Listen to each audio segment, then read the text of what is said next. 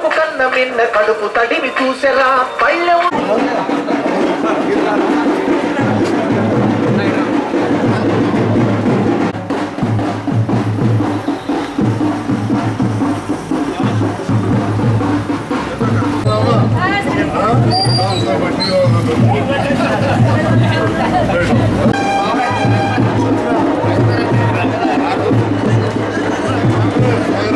ఎప్పుడు చేయలేదు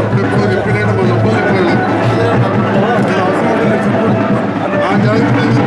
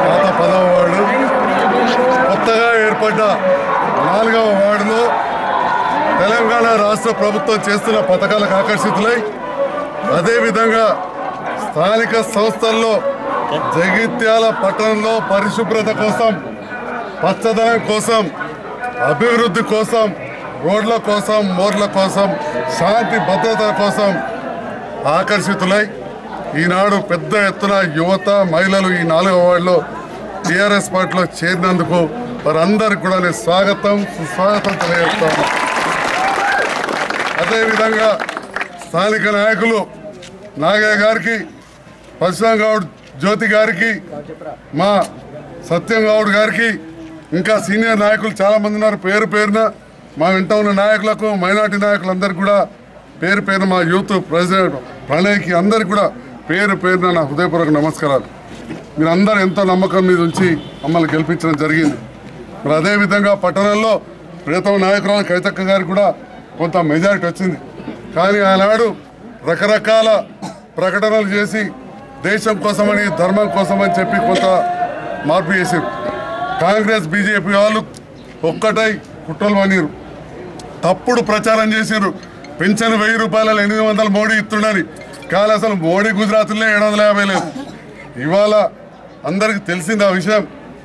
మరి ఇప్పటికే ప్రియతమ నాయకురాలు కవితక్క గారిని మనం కొద్ది కోట్లతో ఓడగొట్టుకోగలిగాం మరి కాబట్టి ఓడగొట్టారు ఈనాడు మళ్ళీ అలాంటి తప్పు చేయకుండా తప్పకుండా కవితక్క గారి కోరిక మున్సిపాలిటీ పైన గులాబీ జెండా ఎగిరేయాలని. ఇప్పటికే జగిత్యాల పట్టణ అభివృద్ధికి యాభై కోట్ల నిధులు ఇస్తే ఇవాళ మా చేతుల మీదుగా ఎన్నో పనులు ప్రారంభించినాం. కొందరు అంటున్నారు సంజయ్ ఎమ్మెల్యే ఏం చేసిండని చెప్పి. కానీ టెండర్లు పెట్టి చేస్తా ఉన్నాం. ఇంకొకటి అసలు ప్రభుత్వం చేసే ఇచ్చే నిధులల్లో అందరి భాగస్వామ్యం ఉంటుంది. కవితక్క ఇక్కడ మా గుండెలలోనే ఉంది మీ గుండెలలో ఉన్నది. అదేవిధంగా నేనున్న దాంట్లో మీ అందరు గులాబీ కండవా కప్పుకున్న ప్రతి వాళ్ళ భాగస్వామ్యం ఇవాళ నిధులు తెచ్చినట్టు ఉంటుంది. ఆ సభలో చూసే మై గుజారిస్ కర్రావు ये जगित्याल के तरक्की के लिए, ये जगित्याल में एक अच्छा आमन रखने के लिए, यहाँ से अपन मज़बूत होकर पूरा मुल्क में भी यही एक नारा बजाना जगत्याल तेलंगाना, गंगा जमुना के तहजीब है। हिंदू, मुसलमान भाई भाई है, अपन सब मिल के जाना, ये हक का तरक्की के लिए अपन सब मिलजुल के काम करेंगे। हम आपके लिए खिदमत करने के लिए तैयार है। कल जो भी कार के निशान पे खड़े होने वाले हैं कार के निशान पे वो लोग खिदमत करेंगे यहाँ के साफ सफाई के लिए काम करेंगे आपके सेवा में रहेंगे ఈ రోజు రేపటి నాడు కారు గుర్తు మీద గెలిచే ప్రతి వాళ్ళు కూడా కౌన్సిలర్లు చైర్మన్ అనుకోరు ఒక సేవకుడిలాగా మీకు పనిచేస్తారని చెప్పి కూడా మీ అందరికీ తెలియజేస్తూ మరి ఈనాడు ఇంత పెద్ద ఎత్తున టీఆర్ఎస్ పార్టీలో చేరి మా అందరికీ స్వాగతం పలికిన నూతనంగా ఏర్పడ్డ నాలుగవ వార్డు ప్రజలందరికీ కూడా ధన్యవాదాలు తెలియజేస్తున్నా శుక్రియా అదా కర్తా